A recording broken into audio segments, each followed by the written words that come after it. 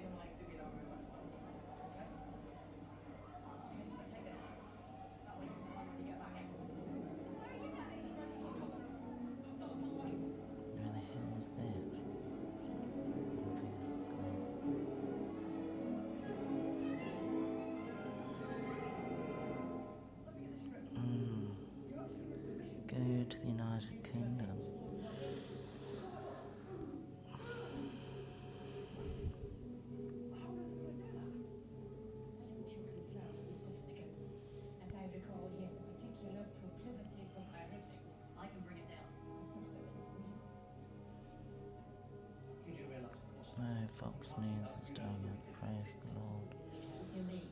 Uh, we can rest assured it's rubbish then. Oh, then talk. on. Is the plan of Couric and others to cram everyone into a digital re education camp?